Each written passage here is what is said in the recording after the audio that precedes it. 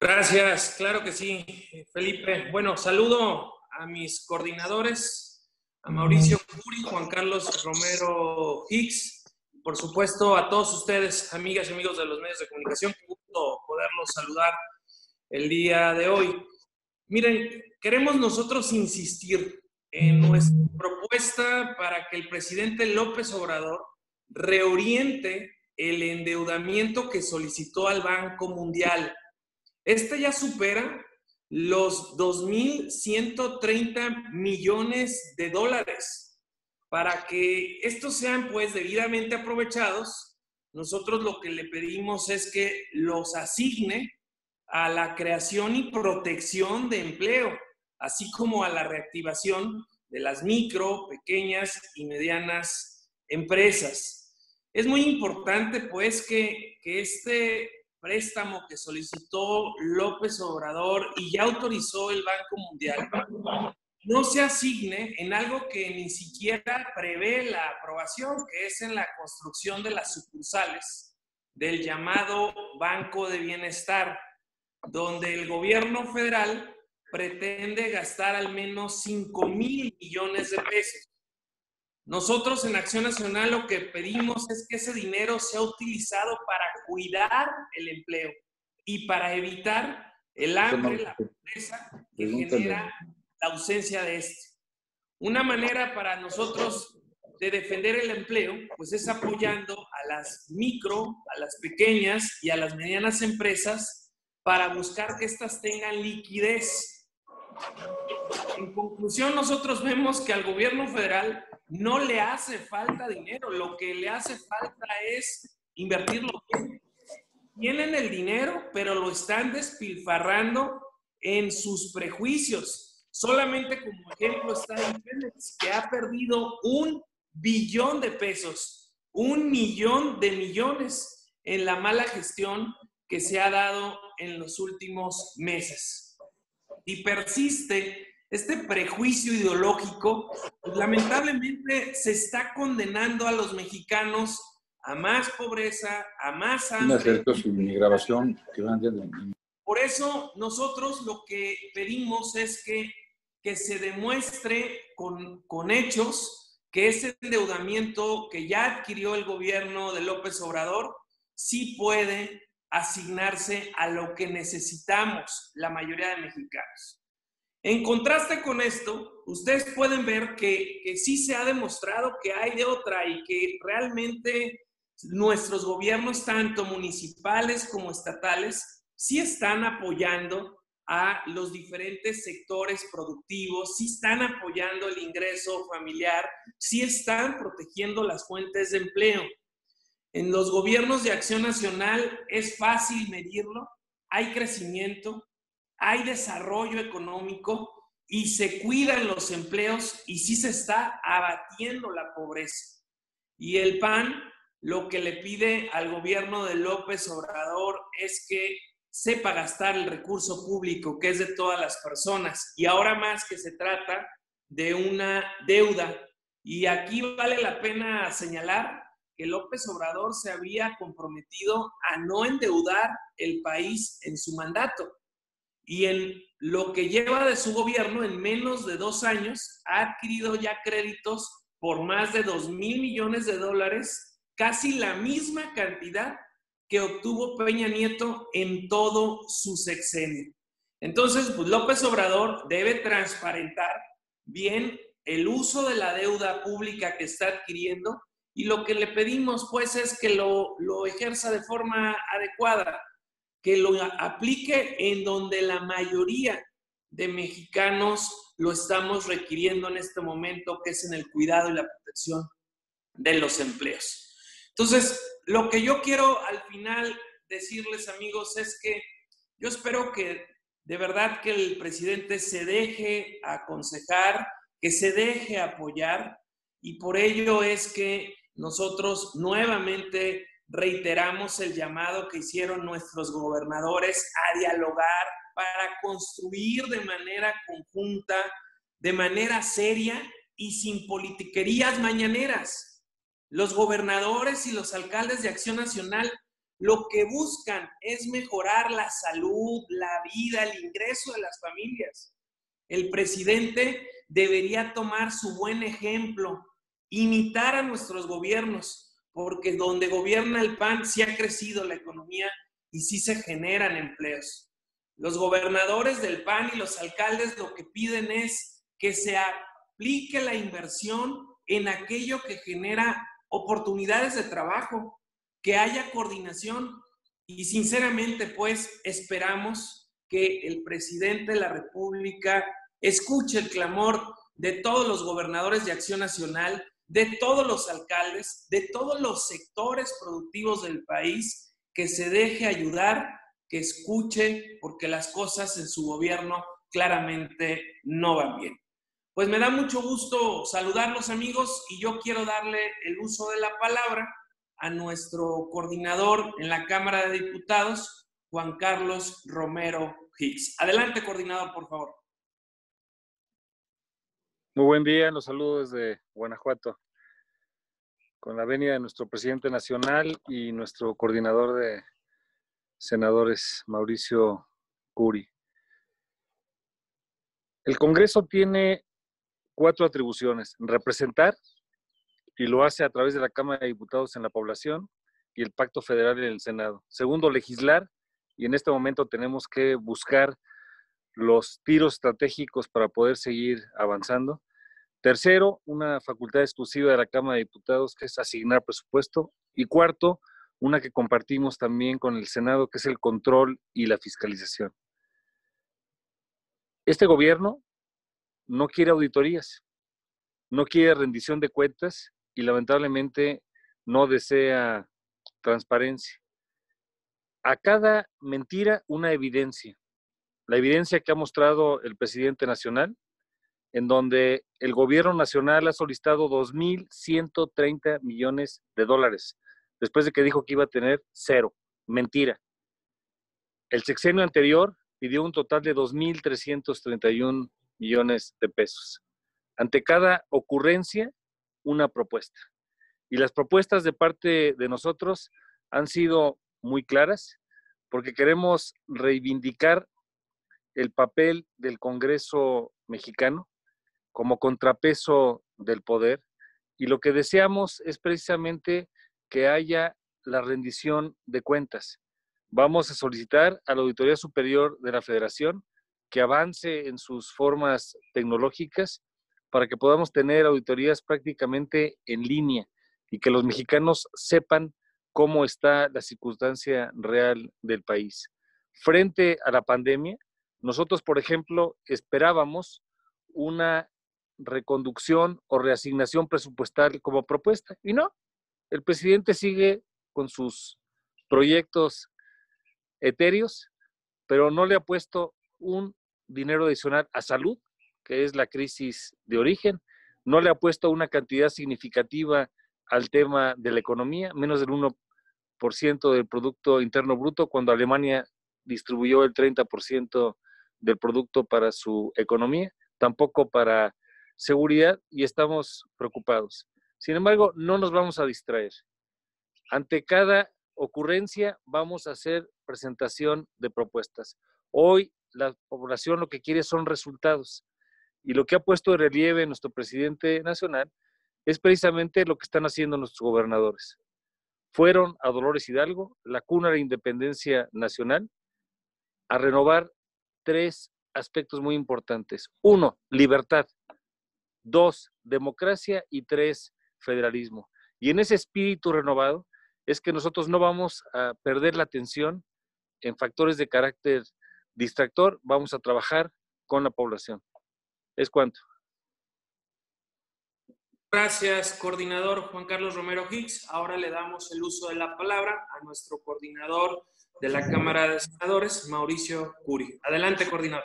Gracias, presidente. Con su permiso y con el saludo a mi compañero coordinador en la Cámara de Diputados, Juan Carlos Romero Hicks.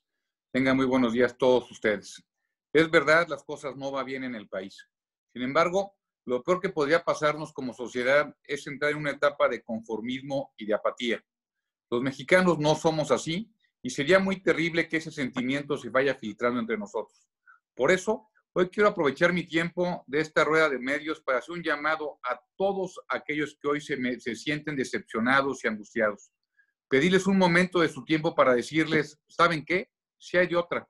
Sí, pese a este complicado panorama, las y los mexicanos deben saber que sí es posible estar mejor en el país. Ya es tiempo de dejar de voltear hacia atrás, unir esfuerzos y echarnos para adelante. Desde el PAN ofrecemos un camino en donde sí es posible crecer, confiar, prosperar y avanzar. Un camino en el que las familias vivan mejor, con salud y con educación, con seguridad y con verdadero bienestar. Apenas este fin de semana, como comentaban mis compañeros, desde Dolores Hidalgo, Guanajuato, la cuna de nuestra independencia, nueve gobernadores de estados panistas se pronunciaron por un acuerdo en defensa de la libertad, la democracia y el federalismo. Hicieron un llamado a evitar la ruina del país, promoviendo la unidad, el empleo, la propiedad privada y la educación de excelencia. El WAN envió un mensaje de aliento a todos los mexicanos, haciéndoles saber que no están solos, que sí hay de otra. Y desde el Grupo Parlamentario de Acción Nacional en el Senado lo respaldamos y nos sumamos para corregir el rumbo. Nos sumamos para acabar con la angustia y el temor de las familias, porque en verdad sí se puede estar mejor, sí es posible tener un país donde todos puedan aspirar a contar con un empleo bien pagado. Si es posible vivir sanos con servicios de salud de calidad, con médicos y medicinas. Si es posible vivir sin miedo. Nosotros creemos en un México unido, próspero, que ofrezca bienestar a todas las familias. Se vale presumirlo y tenemos que decirlo con el ejemplo. Con el ejemplo se demuestra que sí hay de otra. Los estados que mayor dinamismo económico son los gobernados por el PAN.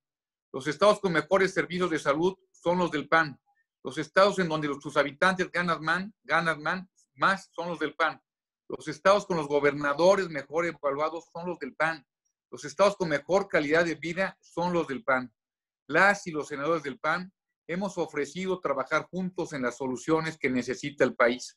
Lo reiteramos, México necesita unidad para cuidar la salud de las familias y proteger sus fuentes de ingresos, que son sus empleos. Somos oposición, pero también somos opción. Por eso, seguimos insistiendo en nuestras propuestas, especialmente la que más le importa en estos momentos a las familias, su salud y su economía. Por otro lado, quiero abundar sobre un tema tocado anteriormente por nuestro presidente Marco Cortés. Nuevamente vuelve a contradecirse el gobierno federal. Primero nos indica que, nos, que no se van a pedir créditos.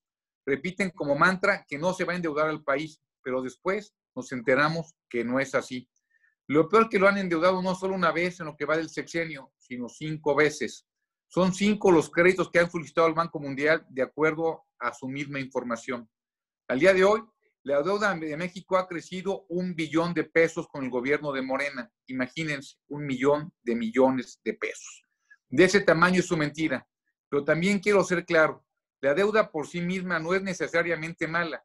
Un crédito cuando se utiliza para generar crecimiento empleo y bienestar, logra ser positivo.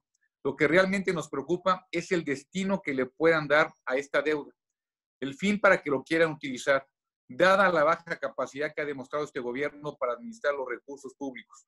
Lo que verdaderamente nos inquieta es hacia dónde irá el dinero, en qué lo van a gastar. Por eso es necesario que, como en todo crédito que se solicita, que nos aclaren algunos puntos de manera precisa. ¿Cuáles fueron las condiciones del contrato? hacia qué programas, obras, acciones, sectores se van a destinar los recursos. Y tercero, cómo garantizarán que el dinero llegue con oportunidad y suficiencia. Hace unos días, el Banco Mundial bajó las perspectivas económicas mundiales. Anunció que las perturbaciones causadas por la pandemia harán que la economía de México se contraiga 7.5% en el 2020. Antes habían previsto que sería un 6%, pero al igual que nosotros, no ven que este gobierno reaccione. Hasta ahora, sus acciones para reactivar la economía no son suficientes. Si estos créditos son para poner en marcha la economía, será equivalente a darle una gota de suero a un deshidratado. Es hora de que el recurso público se utilice donde realmente se necesita. Es momento de reactivar la economía y generar los empleos que tanta falta hacen al país. Muchas gracias. Al contrario, muchas gracias a ti, coordinador Juan, coordinador Mauricio Curi. Qué gusto escucharte. Adelante con las preguntas, Felipe. Rubén Pasquel. adelante, Lau. Rubén Pasquel. Sí, buenos días, presidente, coordinadores, buenos días. Dos cosas, Marco. La primera, el presidente dice que los gobernadores del PAN hacen politiquería. ¿Qué opinas de esto? Y la segunda, la, eh, el hecho de que llegaron los doctores cubanos a México a ayudar por el COVID y desplazaron a los doctores mexicanos con una inversión de 6 millones mil de pesos eh, ¿qué opinas de este gasto para traer a 500 doctores? Muchas gracias, Rubén. Mira, lamentablemente la politiquería la hace todos los días en la mañana el presidente en Palacio Nacional. Los gobernadores de Acción Nacional lo que buscan es mejorar la salud, la vida y el ingreso de las familias a quienes gobiernan. El presidente debería de imitarlos, y hacer lo que hacen nuestros gobernadores en sus estados, porque donde gobierna el PAN sí ha crecido la economía y el empleo. Entonces lo que se propone es que haya una inversión correcta, que haya productividad, que se genere empleo, contrario a todo lo que hace el gobierno federal. Nosotros pensamos que el presidente López Obrador sí escucharía a los gobernadores de Acción Nacional, pero pues ya sabemos que el presidente prefiere escuchar a la madre del Chapo que a sus gobiernos estatales, sus gobiernos municipales o a los sectores productivos. Es bastante lamentable lo que, lo que está ocurriendo. Y entonces, ¿qué es lo que vemos? Otra mala decisión cuando el presidente decide contratar médicos extranjeros, cuando aquí en nuestro país hay tantos médicos que buscan y esperan tener una oportunidad laboral, simplemente no lo podemos comprender. Nuestra solidaridad con todos los médicos, con todas las enfermeras que se han preparado por años y que no han sido bien valorados y bien apoyados por el gobierno federal. Nuestros gobiernos, tanto estatales como municipales, sí le dan su lugar a los médicos mexicanos.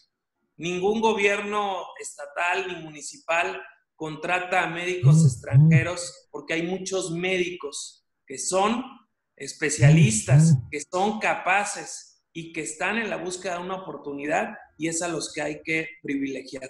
No entendemos esa actitud del gobierno federal, nuevamente una decisión equivocada. No sé si al respecto de este tema mis coordinadores quisieran agregar algo. De no ser así, siguiente pregunta, Laura. Rubén Fieital, de Canal 11. Hola, buenos días, eh, Marco, buenos días, senador Curi, buenos días, diputado Romero Hicks, compañeros, buenos días. Em, hay consensos en el Congreso para un periodo extraordinario de sesiones.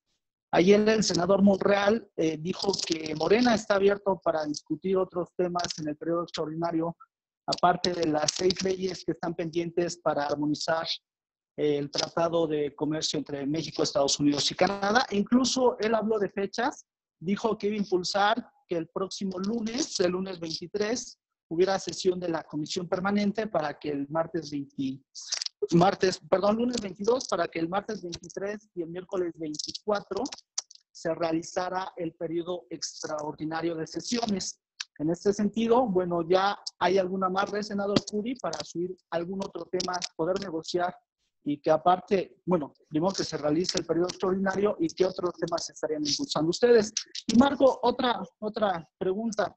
Eh, en los días previos en los que se realizó, se suscitó el lamentable hecho entre el subsecretario Hugo López Gatel y la senadora Reynoso, en el Congreso local de Durango, hubo un episodio pues muy triste con el diputado local José Antonio Chua Rodríguez, que fue bautizado en redes sociales como Los Huevos, quien le llevó una canasta de huevos a la diputada local Sandra Lilia Amaya Rosales de Morena. Estuve revisando cuidadosamente tu línea de tiempo y no encontré ningún, ninguna expresión de condena, ningún rechazo hacia este tipo de actitudes. Incluso pues estuve revisando eh, ahí con las senadoras, no vi ningún mensaje de apoyo hacia la diputada Lilian Maya Rosales. Y bueno, pues esto me lleva a pensar que utilizando tus propias palabras en la politiquería, se le da un uso partidista al tema de la violencia política de género, porque bueno, se hizo mucho,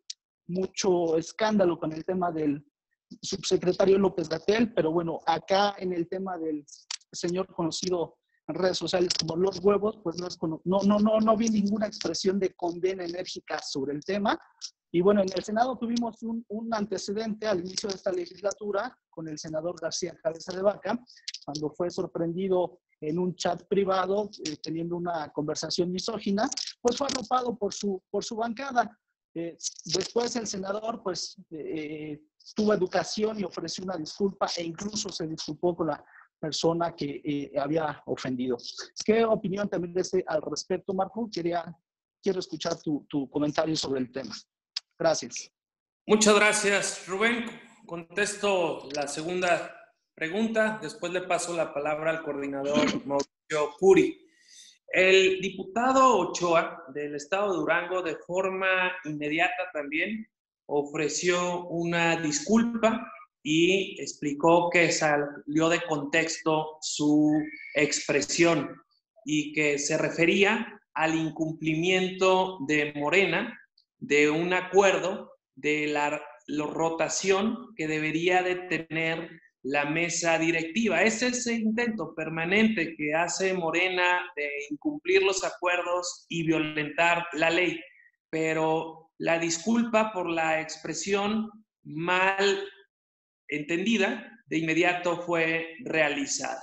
Y respecto de la segunda pregunta, de la primera pregunta hecha al coordinador Curi, yo solo puedo decirte que ya los integrantes de Acción Nacional en la comisión permanente del Congreso de la Unión estarán por ir a un periodo extraordinario exclusivamente para abordar los temas de la agenda legislativa del TEMEC y para buscar que se impulse esta comisión de emergencia económica que se ha presentado en ambas cámaras para que se tomen medidas inmediatas para que podamos de forma contundente y de forma inmediata atender cualquier tipo de situación en la generación de oportunidades de trabajo para las personas. Le doy la palabra al... Marco, si me permites, si bien lo mencionas, el diputado se disculpó, pues de tu parte no vimos ninguna expresión enérgica de condena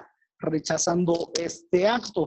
Entonces, eso me lleva a ver que pues le dan un uso partidista al tema de la violencia política de género. ¿Por qué cuando se trata de ustedes sí lo, lo, lo condenan, hacen mucho, eh, mucho ruido, pero cuando se trata de un panista no hay una expresión condenando este tipo de hechos contra una mujer?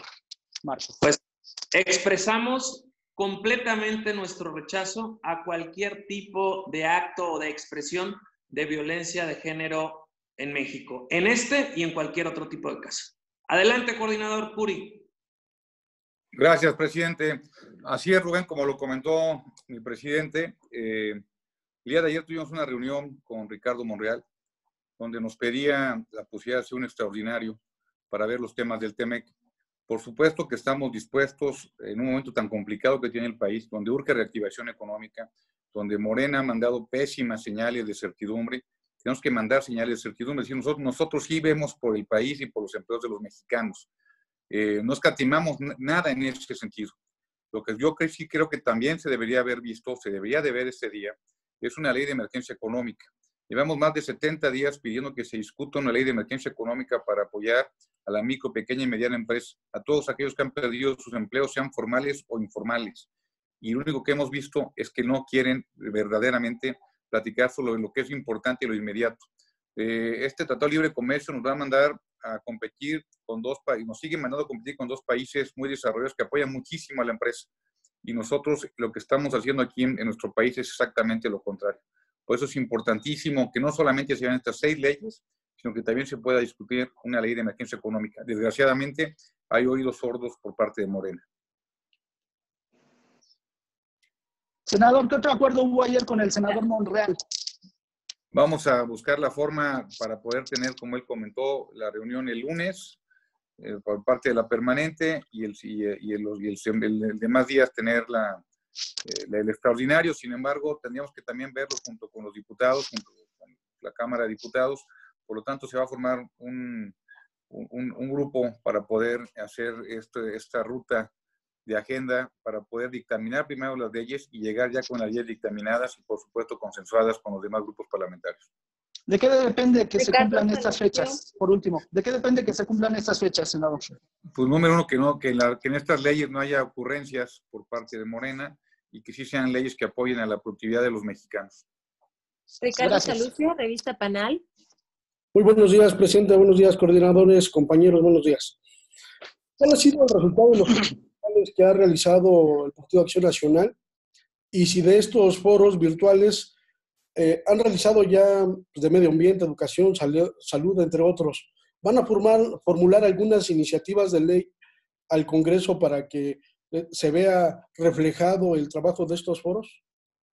Por supuesto, Ricardo. De hecho, se va a presentar las conclusiones del mismo en la Comisión Política Nacional de nuestro partido, en la cual están los coordinadores parlamentarios de diputados, de senadores, y también le he pedido a la Secretaria Nacional de Capacitación, Maggie Martínez Fischer, que se programe para las siguientes reuniones plenarias de nuestros legisladores para que ahí se presenten las conclusiones de estos cinco foros, porque para nosotros sí es muy importante escuchar a los expertos, escuchar sus buenas ideas, sus buenas propuestas, para que las podamos llevar a iniciativas concretas y específicas en el legislativo.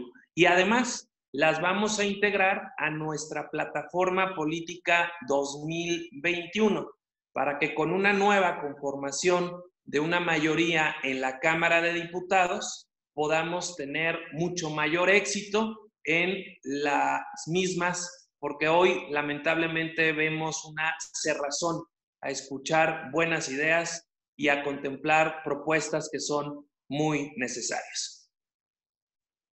Únicamente, ¿cuál ha sido el resultado de los foros, presidente?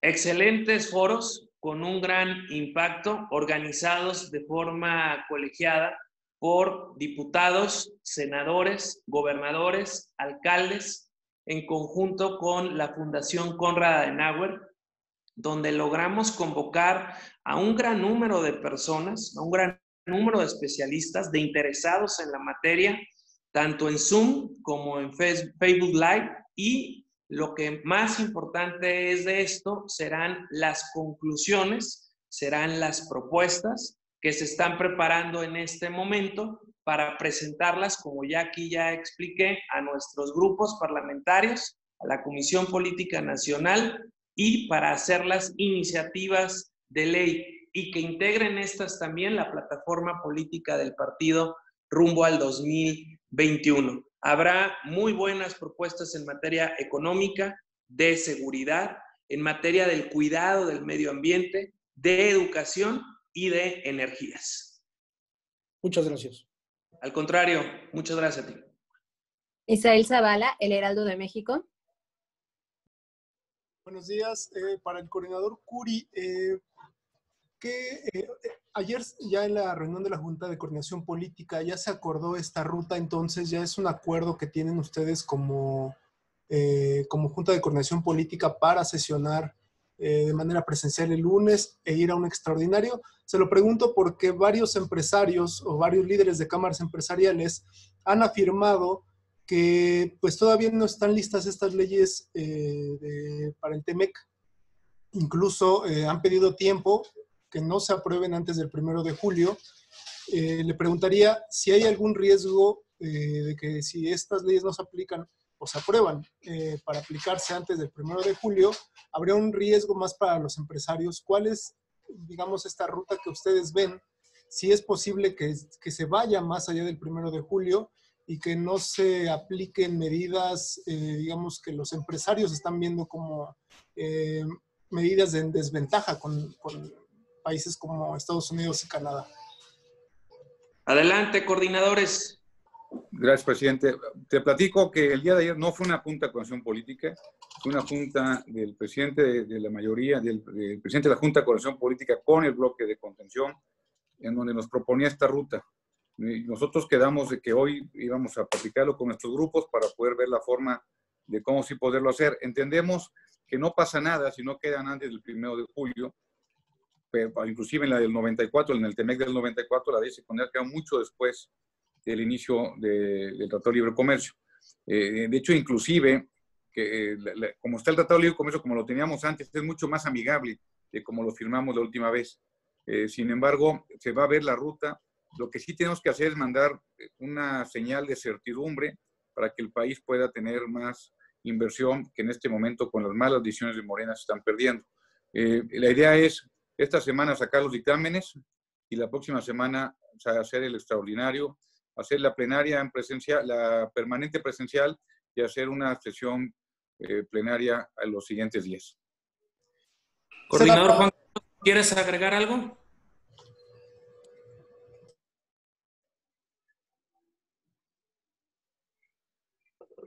Sí, con mucho gusto. Nosotros hemos seguido el proceso de deliberación muy cerca en la parte del, Senado y hemos hecho una tarea muy acuciosa. Estamos a favor de la economía y por supuesto que estamos a favor de lo que le convenga a México. La vigencia del TEME, que es el primero de julio, en estricto rigor, ninguna de las seis leyes es indispensable. Eso lo hemos consultado con especialistas y los actores que lo negociaron. Sin embargo, es sano dar un mensaje de que el Congreso mexicano está abierto para poder tener mejores condiciones de futuro. Son seis leyes. Primero, la ley de infraestructura de la calidad, que no está lista. Segundo, una nueva ley de propiedad industrial de la que no tenemos conocimiento de que haya iniciativa. Tercero, una reforma a la Ley Federal de Derechos de Autor.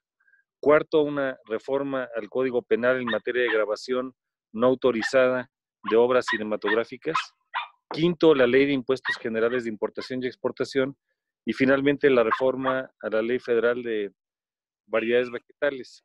En el tema del TEMEC, tendremos que coordinarnos de manera bicameral para ver cuáles son la cámara de origen y cuál es la cámara revisora. Porque lo ordinario, frente a lo que estamos nosotros eh, viviendo, es que primero tenemos que salvar el tema de la salud. Hoy no hay condiciones para sesionar. Tendríamos que esperar a que el semáforo nos lo indique. A partir de eso, lo que se hace de manera profesional, ortodoxa y ética en la comisión permanente es que haya materia y que haya dictámenes. En este momento todavía no hay materia de esencia y no hay iniciativas en algunos casos y no hay un solo dictamen. Pero por supuesto que nuestra visión va a ser de apoyo para lo que pueda mejorar en los próximos días y en las próximas semanas. Nosotros ayer como Junta de Coordinación sesionamos y establecimos dos puntos. Uno, la salud y dos, que haya materia. Y a partir de que haya materia, ver cómo pueden caminar posibles eh, temas para el caso de San Lázaro y, algunos en espera de lo que determine en el Senado de la República. En los próximos días tendremos noticias para dar certeza a favor de México. Gracias, coordinador Romero Hicks. Adelante, Laura. Arlet García, de Cadena Política. Muy buenos días a todos. Bueno, pues quisiera eh, su opinión, su postura ante la situación eh, que se vio anoche eh, referente al canciller Marcelo Ebrard, donde pues más que nada es el, la situación, ¿no? Que esconde el Rolex. Y la siguiente pregunta, ¿qué, ¿qué opinan sobre estas encuestas donde todavía se ha beneficiado el presidente Andrés Manuel López Obrador? Mira, Arlet, no solo esconden el Rolex, esconden el gasto público. No sabemos cómo se están aplicando todos los programas clientelares. No hay lista de beneficiarios de mexicanos. Hay una gran opacidad en el gobierno federal.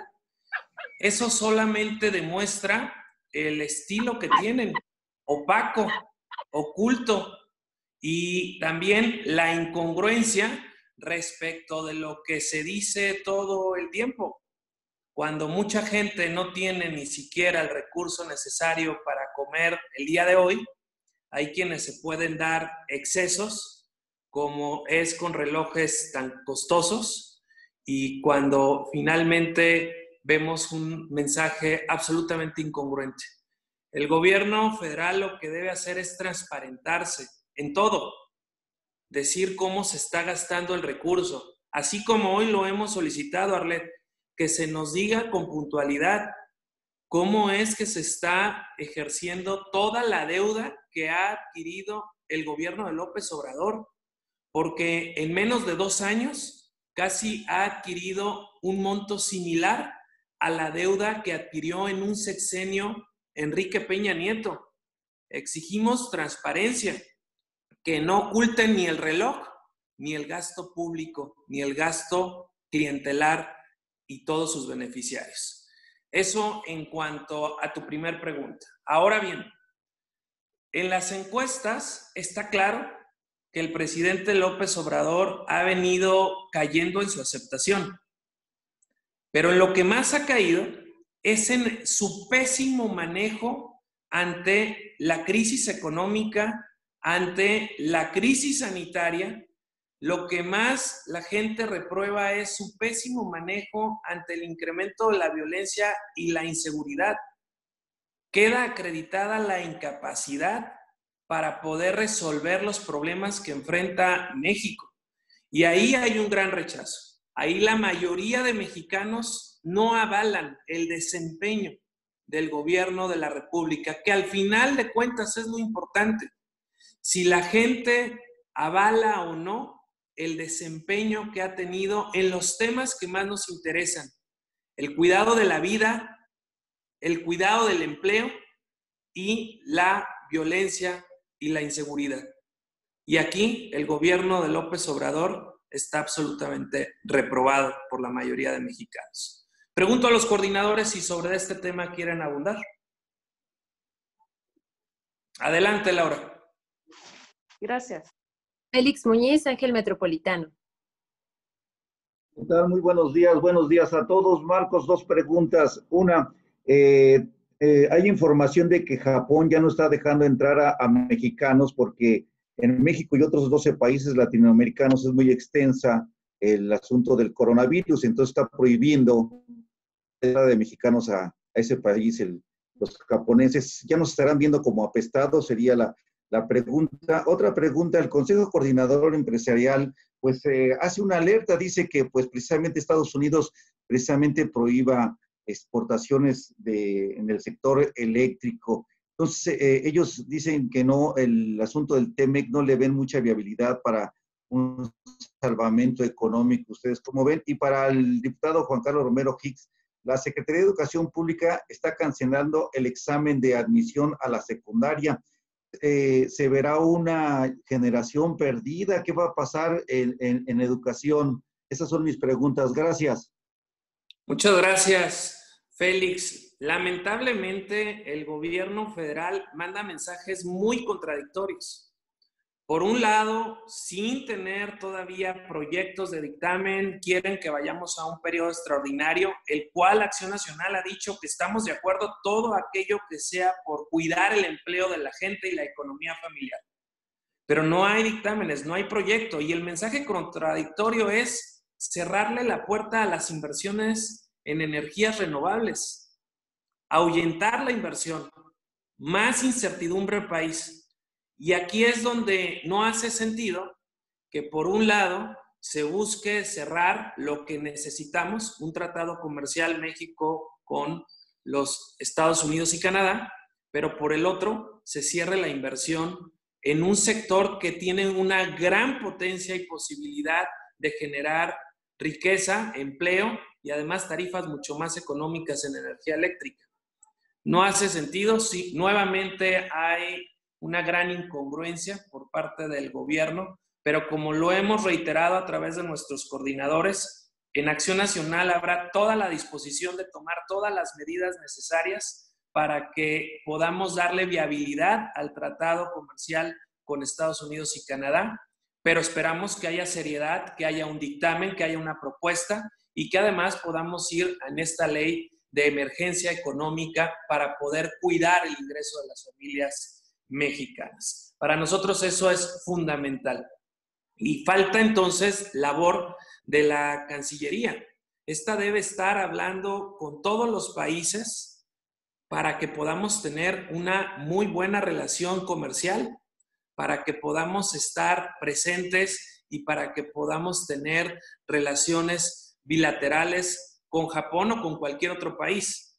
Esto sería una falla de la Cancillería y debe de aclararlo el propio titular. Adelante, coordinador Juan Carlos Romero Hicks, respecto de la pregunta de la, del examen para las secundarias. Félix, en este momento el derecho de los mexicanos es tener acceso a educación desde preescolar, primaria, secundaria, nivel medio superior y superior. Eso ya está en la Carta Magna, en el artículo tercero. Hay que recordar que el artículo tercero es uno de los tres derechos sociales que se incorporaron en la Constitución de Querétaro de 1917. Educación, el tema de la, propiedad y el tema del derecho a huelga. Primer país en el mundo que consagró el derecho a huelga en una constitución. El artículo tercero ha tenido 11 modificaciones desde la constitución de 1917. En el caso de secundaria, hay un derecho de la persona para acceder a la secundaria, hay una obligación de los padres de familia para poder cumplir con esta circunstancia y hay una obligación del Estado mexicano. Los exámenes que se han venido haciendo son para ubicación de nivel y en este momento frente a la pandemia para la cual no estábamos preparados, lo que la Secretaría de Educación Pública ha anunciado, al igual que las secretarías de educación de las entidades federativas, es que el curso escolar inicia, si las condiciones de salud lo permiten, el 10 de septiembre. Y del 10 de septiembre, perdón, de agosto, el 10 de agosto al 20 de septiembre y el 21 de septiembre empezarían los cursos regulares. Habría una nivelación, porque no estábamos preparados para el momento. El modelo educativo es para circunstancias presenciales, no virtuales. El modelo de evaluación en condiciones análogas frente a un sistema educativo que en educación básica, preescolar, primaria y secundaria se detuvo en una docena de entidades federativas el 16 de marzo y en el restante el 23 de, marzo, necesitamos que la, Secretaría de Educación Nacional y las equivalentes locales hagan los ajustes necesarios para ubicar a los educandos. Entonces no es un examen de admisión, es una evaluación para ver el nivel de la persona y hacer el trabajo remedial necesario. Gracias, coordinador Juan Carlos Romero Hicks. Adelante, Laura, por favor. Claudia Telles, del IMER. Buenos días al, presidente del partido y a los coordinadores para preguntarle al coordinador Juan Carlos Romero qué fue lo que platicaron ayer con el Comité Técnico de Evaluación para la elección de los consejeros del INE. ¿Habrá condiciones para que en este periodo se lleve a cabo esta elección o se irá para adelante? Y nada más para que me precisen si hay periodo extraordinario en los próximos días, entonces los temas nada más que ustedes, eh, digamos, avalarían o, aceptarían discutir serían las leyes de, eh, relacionadas al TEMEC y esta, esta ley de emergencia económica. Gracias. Adelante, coordinador Juan Carlos Romero Hicks. No te escuchas, coordinador. La Junta de Coordinación Política se unió el día de ayer con el Comité Técnico de Evaluación, con los siete miembros, para evaluar cómo están los asuntos. Primero hay que recordar que tenemos 13 litigios de las personas que acudieron al Tribunal Federal Electoral. Segundo, el proceso se detuvo en la semana del 16 de marzo. Hay un acuerdo del Pleno para suspender el proceso. ¿En qué etapa vamos? Quedan 30 hombres y 30 mujeres para ser entrevistados y eventualmente el Comité Técnico de Evaluación hacer la propuesta de cuatro quintetas, que son las vacantes que están desde el día 4 de abril. Lo que el Comité Técnico de Evaluación va a hacer es una propuesta de calendario a la Junta de Coordinación Política en los próximos días para ver qué es lo que sería necesario hacer. Sin embargo, es, es un proceso que va a llevar tiempo. En una valoración muy preliminar, llevaría entre 9 y 11 días de trabajo restablecer el proceso y llegar a la propuesta de las quintetas. Y luego llevaría otros seis días al menos el procesamiento de la Junta de Coordinación Política para llegar eventualmente al, al Pleno. En este momento ese calendario estaría por establecerse. No hay un acuerdo, solamente hay un diálogo respetuoso porque el que conduce el proceso y emitió la convocatoria fue la Junta de Coordinación Política. Asimismo, ayer evaluamos la posibilidad de un periodo extraordinario y pusimos dos elementos. Uno, salud, hoy no está resuelto, y dos, que haya materia. Hoy no hay una materia disponible para hacer esto. Sí hay muchos temas que eventualmente podrían llegar a algún o algunos periodos extraordinarios. Vamos a estar pendientes del semáforo en la Ciudad de México y al avance correspondiente en esas prioridades. Muchas gracias, coordinador Juan Carlos Romero Hicks. Adelante, Laura. Nos envían dos preguntas Israel Aldave de Radio Fórmula, al dirigente nacional y coordinadores. ¿El PAN buscará las presidencias de ambas cámaras en el Congreso? En San Lázaro todo indica que Morena se la quiere agandallar. En el Senado, ¿qué pasará? ¿Le corresponde al PAN? Y la segunda pregunta es de Gina Saldiana de la Cámara. ¿Cuál es la respuesta puntual del PAN a los señalamientos del presidente López Obrador en torno a que detrás de la posición de los gobernadores panistas hay intereses políticos electorales y que no es más que politiquería y que el PAN es un partido que defiende a los poderosos? Muchas gracias, Laura. Adelante, coordinadores. Sí, bueno, por supuesto que le correspondería al Partido de Acción Nacional la presidencia de la mesa directiva. Sería algo, si no se la dan, sería algo que nunca se había visto en la Cámara de Senadores. Por supuesto que la vamos a pedir, le corresponde al Partido de Acción Nacional como la primera fuerza de oposición y espero que Morena, con estos, sin lugar a, dudas, signos de autoritarismo, no quieran eh, seguirse agandallando la mesa directiva como lo han hecho hasta ahora. Gracias. Coordinador Juan Carlos. Israel, a tu pregunta, el acuerdo fundacional de la Junta de Coordinación Política que se hizo público el día 5 de septiembre establece los elementos necesarios, el respeto a la ley y la rotación de las presidencias de las mesas directivas. Y sabemos perfectamente quién es la tercera fuerza política. Así como no queremos Juanitas, tampoco tenemos el interés de que haya morenitas. Simplemente que se respete el acuerdo bajo el cual estábamos haciendo las tareas. Gina, así como los gobernadores no descalifican al presidente porque representan a toda la población, se gobierna y ya tuve el honor de ser gobernador y no me presentaba como gobernador de un partido político, sino gobernador de todos los guanajuatenses. Se gobierna para todos, los que votaron por uno, los que votaron por otro, los que decidieron no votar por nadie. El gobierno debe ser daltónico. Ahora sí soy un orgulloso panista y el sello nuestro era el humanismo político y la forma de hacer gobierno. El evento del fin de semana de Dolores Hidalgo es un evento de una convicción para subrayar los tres valores fundamentales, libertad, democracia y federalismo. Y el artículo 40 de la Constitución en la Carta Magna lo ha resuelto de manera muy clara. Somos una república democrática, representativa, laica y federal. Si nuestro presidente no entiende que esto no es una república central o una república eh, unitaria, tendrá que evaluar y que alguien lo aconseje para que entienda lo que es el espíritu federalista. La cadena es tan fuerte como el eslabón más débil. Necesitamos municipios fuertes, los 2.457 municipios. Nuestro presidente no se ha reunido una sola ocasión con un ayuntamiento. Necesitamos entidades federativas fuertes. El problema es que nuestro presidente se ve al espejo y se escucha solo y no consulta y su diálogo es interno.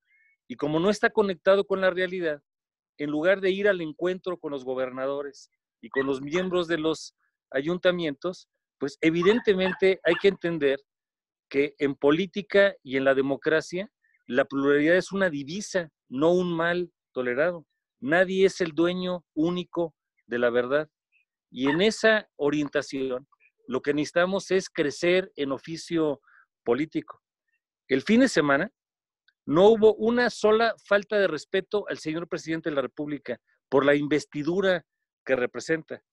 Toda proporción guardada, en el diseño de la República, los jefes de Estado de cada entidad federativa son los gobernadores y así lo están asumiendo. Y lo que están diciendo es que hay alternativas y pueden hacer las cosas. Ahora, los comprendo en solidaridad. No han recibido un peso en materia de salud, no han recibido un peso prácticamente en materia de economía, no han recibido un peso adicional en materia de seguridad. Entonces, frente a la ausencia del gobierno nacional, los que están llenando el vacío son los alcaldes y son los gobernadores. En la reflexión que hizo nuestro presidente nacional, así lo veía y los invitamos para que vean cómo están los estados gobernados por estos gobernadores que se reunieron los nueve el fin de semana en salud, en economía y en muchos de los rubros. Ahora, nosotros creemos en la doctrina subsidiaria y hay que recordar que un alcalde no es el subordinado del gobernador, ni el gobernador es el jefe del alcalde, ni el gobernador es el subordinado del presidente de la República. La República se diseñó para tener tres órdenes de gobierno. A veces de manera inapropiada nos referimos a que son niveles, son órdenes de gobierno, municipio, estado y federación, y no son una escalera jerárquica.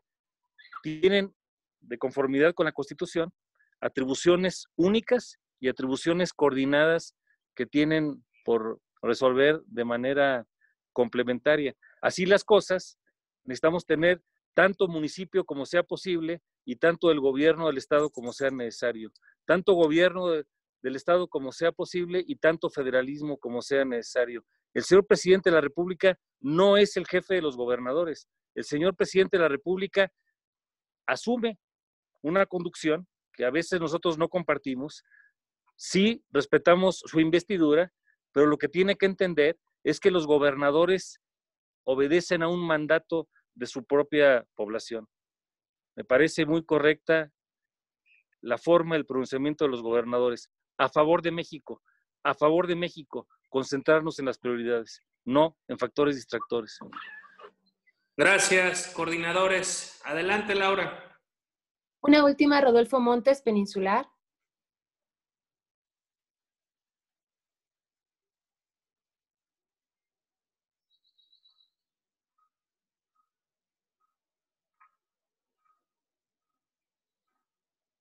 No se escucha.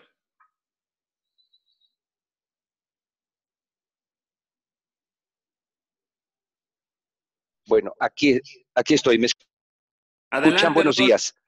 Eh, sí, eh, bueno, eh, Marco Cortés, buenos días, buenos días, coordinadores. Gracias, Laura. Este, mi pregunta es la siguiente. Ya en septiembre se inicia este proceso electoral federal y de esos locales. Eh, Acción Nacional está en posibilidades de ir en alianza en algunos estados o en todo el país o en ninguno con el, con el PRD como sucedió eh, en la elección presidencial o van solos o sí estarían buscando esa coalición independientemente de buscar candidaturas eh, con precisamente con candidaturas independientes también. Es, esas dos vertientes. A ver, Rodolfo, las circunstancias que vive hoy el país amerita un esfuerzo de todas y de todos los mexicanos que estamos muy preocupados ante lo que está ocurriendo. Requerimos sumar esfuerzos, potencializarnos con los mejores perfiles, mujeres y hombres, y con los mejores acuerdos entre los partidos que nos asumimos claramente oposición.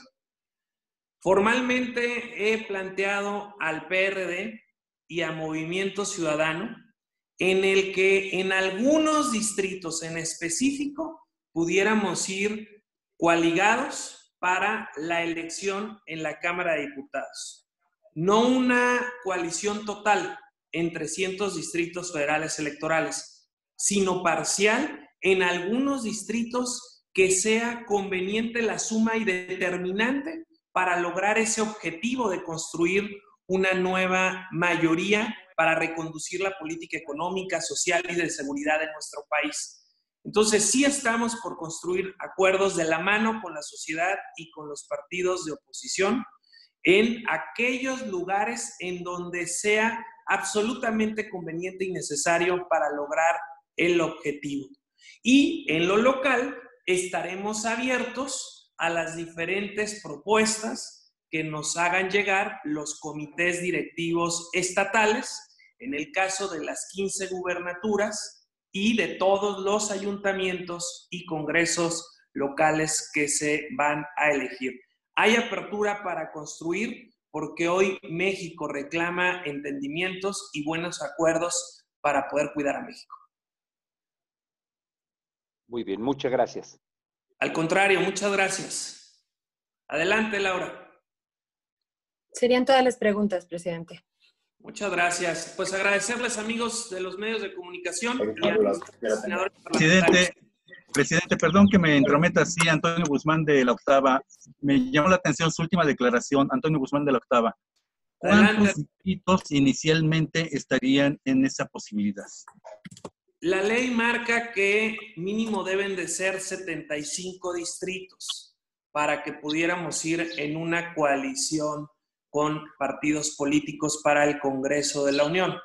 Y el planteamiento es ir a una coalición de mínimos. Y estamos hablando entonces de 75 a 100 distritos en donde podamos ser complementarios para poder ser determinantes y ganar más distritos de mayoría para la oposición en México. Entonces, estamos hablando de 75 a 100 distritos federales electorales, que sería el planteamiento. Debo aclarar que aún no hay un acuerdo, solo es un planteamiento que ha hecho Acción Nacional como la primera fuerza de oposición en México en la búsqueda de construir un gran proyecto en donde quepamos todos los ciudadanos que hoy estamos preocupados ante lo que está ocurriendo. Gracias por su atención y una disculpa, Laura. Contrario, muchas gracias. Pues, bueno, Francisco Rubio. Saludos, presidente. Sí, Francisco Rubio, ¿me escuchan? Adelante, Francisco. Gracias, ¿qué tal? ¿Cómo están? Muy buenos días a todos. Eh, un planteamiento breve en torno a que en estos próximos días se define el futuro del avión presidencial. ¿Qué esperan al respecto? Pues es que ya no sabemos si lo van a querer rifar o lo van a vender, ha sido otra de las promesas incumplidas del presidente. Y lo que todos sabemos es que el avión, aunque no se está usando, nos sigue costando a todos los mexicanos el arrendamiento, el mantenimiento. Y bueno, pues ha salido muy cara la decisión del gobierno de no usarlo, de mantenerlo en los Estados Unidos y de tampoco tener la capacidad de poderlo vender. Tan es así que pareciera simplemente pues un distractor para lo que le ha servido al gobierno federal, pues es para hacer este, campaña política, pero no vemos que tenga algún otro buen fin o uso hasta el momento. No sé si en este tema los coordinadores quisieran agregar algo. Se, habla también, de, la postura, se habla también de la postura de que el, también se puede intercambiar la mitad en precio económico y la otra mitad en insumos médicos. Yo creo, si me permite, presidente, miren, ahora sí que no nos hagamos bolas. La mejor forma que se pague ese, ese avión es usándolo. Es que nuestro presidente vaya y traiga inversión a nuestro país, vaya y dé certidumbre con el avión presidencial que traiga empresas, que esas mismas empresas den empleos, que esas mismas empresas paguen impuestos y puedan apoyar para el crecimiento económico del país. Este nos ha costado, lo barato sale caro. Ya vimos cómo al poner personas que no tienen la capacidad suficiente, como el caso de Pemex, puedes perder en tres meses 560 mil millones de pesos. Entonces, estoy convencido que lo mejor que podemos hacer que ese avión es que lo usen. Si ya está, que lo usen y que no lo estén, no lo estén eh, malbaratando y que lo usen para traer inversión y certidumbre a nuestro país. Que nuestro presidente vaya a las reuniones internacionales para poder hacer presencia en un mundo tan globalizado como el que tenemos. Listo. Tenemos una última, última de Horacio Jiménez, por favor, del Universal, y con eso terminamos. Gracias. Adelante, Horacio, te escuchamos. Oiga, pues nada más preguntarle en esta última respuesta que dabas, Marco, en la coalición parcial que mencionabas, eh, ¿está totalmente descartado una alianza con el PRI? O sea, no mencionaste al PRI, solamente mencionaste al PRD y a MC. ¿El PRI está descartado completamente?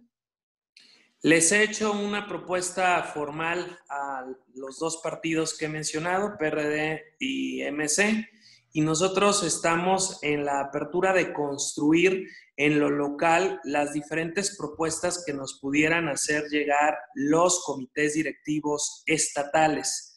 Para lo federal, para la Cámara de Diputados, no tenemos por lo pronto contemplada una alianza con el PRI. Correcto, gracias. Muchas gracias, que tengan un buen día. Gracias, presidente y coordinadores. Buen día. Saludos, presidente. Gracias. Buen día, saludos. Muchas gracias a todos. Buenos días.